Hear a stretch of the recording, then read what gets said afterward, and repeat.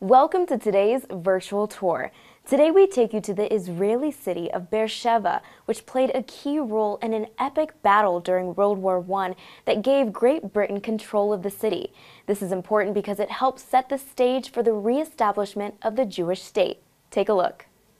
Israeli Prime Minister Benjamin Netanyahu welcomed the Australian Prime Minister and New Zealand governor to commemorate the victory of British, Australian, and New Zealand soldiers and the Light Horse Regiment a century ago.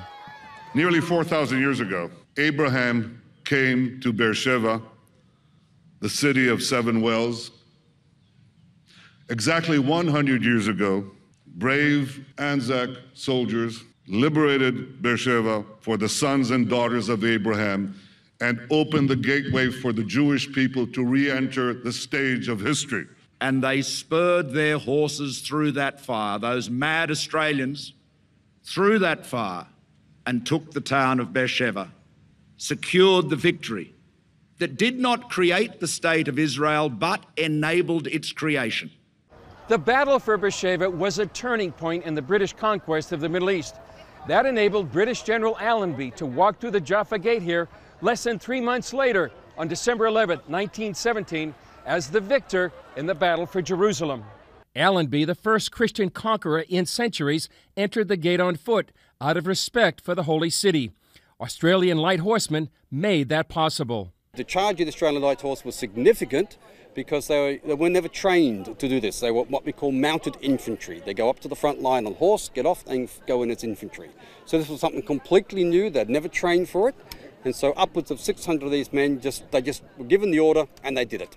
Australian author Kelvin Crombie teamed up with the director of the Australian Light Horse Association, Barry Waters, to spearhead the efforts to reenact the charge. More than 100 uniformed horsemen rode in the event. Whoa! March!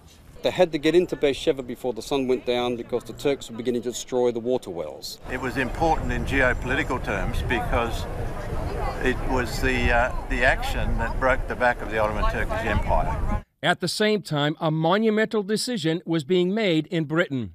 What's so amazing is that on the same day, at about the same time as this event took place, the members of the British War Cabinet were meeting in London and they voted for that great decision, which we now know as the Balfour Declaration, that the British government views in favour the establishment of a national home for the Jewish people in Palestine. Australians and New Zealanders are extremely proud of their role in Middle East history, like Australian Lance Corporal David Wood. My great grandfather was a member of the 1st Light Horse Regiment who held the back door open and stopped off the Turkish retreats.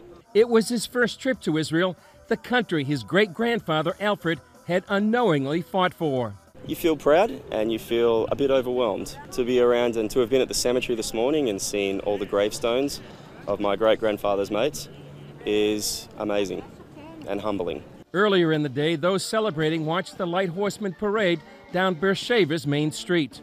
To be here at the place where the Australian uh, victory occurred, and it was an incredibly gutsy effort, uh, both the men and horses. It's all part of our our um, national psyche. I think it's a- another display of his awesomeness and how history is made with him in this scenario and God being God and who he is and everything that he represents. Yeah, we get to be a part of it being Aussies. Australia's Prime Minister summed up the part his countrymen had played.